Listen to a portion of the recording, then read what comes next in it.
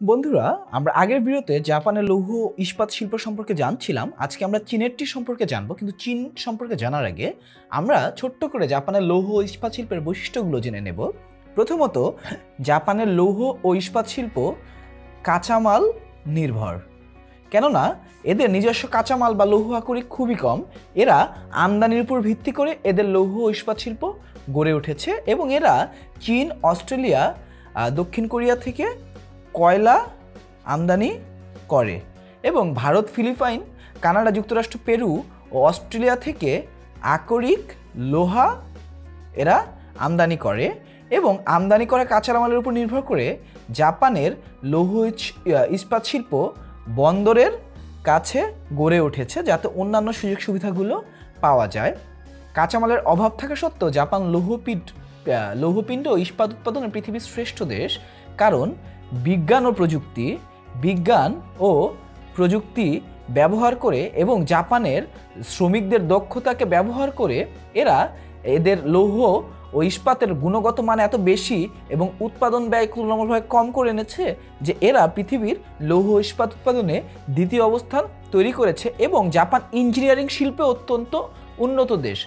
তাই উৎপাদিত ইস্পাতের একটি বড় অংশ দেশের অভ্যন্তরীণ বাজারে অন্যান্য শিল্পে ব্যবহারের জন্য প্রচুর পরিমাণে বিক্রি হয়ে যায়।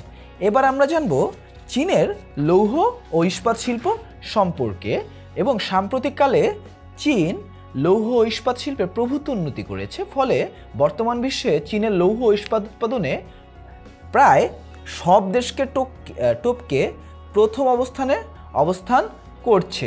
এবং দুই হাজার সতেরো সালের হিসাব অনুযায়ী বিশ্বের সর্বোচ্চ লৌহ ও ইস্পাত উৎপাদনকারী দেশ হলো চীন।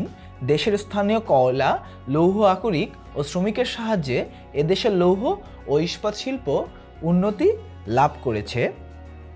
এবার আমরা দেখব চীনের এছাড়াও কি কি প্রভাবকের মাধ্যমে এই চীনে এই লৌহ ইস্পাত শিল্প গড়ে উঠেছে এবং শুধু গড়েই ওঠেনি, সেটি প্রথম স্থান লাভ করেছে। জাপানের ক্ষেত্রে কিন্তু কাঁচামালের ঘাটতি ছিল, কিন্তু চীনের ক্ষেত্রে যথেষ্ট পরিমাণ কাঁচামাল রয়েছে, কারণ আকরিক লোহা উৎপাদনে চীন সারা বিশ্বে প্রথম এবং কাঁচামালের যোগান একটি অন্যতম প্রাকৃতিক নিয়ামক আমরা জানি যে কোনো শিল্পের ক্ষেত্রে।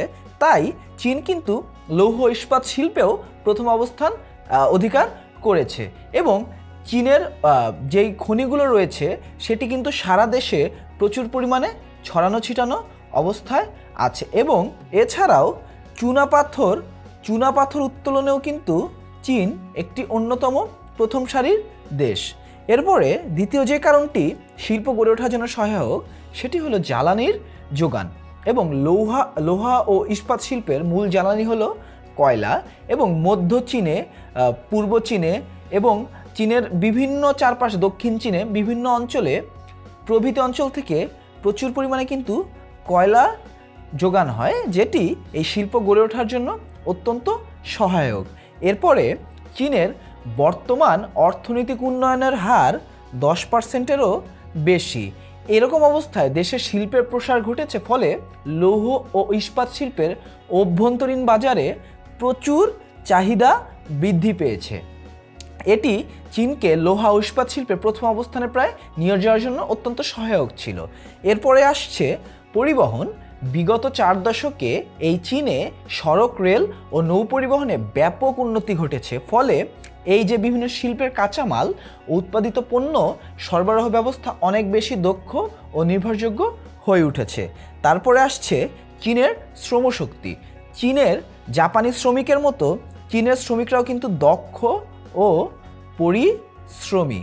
এছাড়া ইউরোপ ও আমেরিকার শ্রমিকদের তুলনায় এদের মজুরি কিন্তু তুলনামূলকভাবে কম। তাই কম কম মূলধনে অনেক বেশি মুনাফা তারা আদায় করতে পারে। এছাড়া রয়েছে মূলধন। চীনের মূলধন বিনিয়োগের ক্ষমতা অর্থনৈতিক উন্নয়নের সাথে সঙ্গতি রেখে গত চার দশকে প্রচুর বৃদ্ধি পেয়েছে। এই সব কিছু মিলিয়ে চীনকে লোহা ও ইস্পাত শিল্পে সব এক অনন্য অবস্থানে নিয়ে গেছে। আমরা চীনের লোহা ও ইস্পাত শিল্প সম্পর্কে জানলাম এবং পরবর্তী ভিডিওতে আমরা জানব আমেরিকার লোহা ও ইস্পাত শিল্প সম্পর্কে। দেখার আমন্ত্রণ রইল সবাইকে।